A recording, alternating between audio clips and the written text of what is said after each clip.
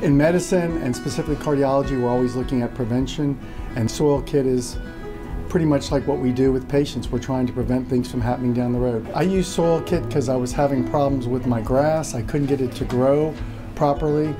I tried resodding it, tried all sorts of chemicals, and so I went ahead and purchased a kit and sent it out, and they sent me what to do, and it worked wonderfully.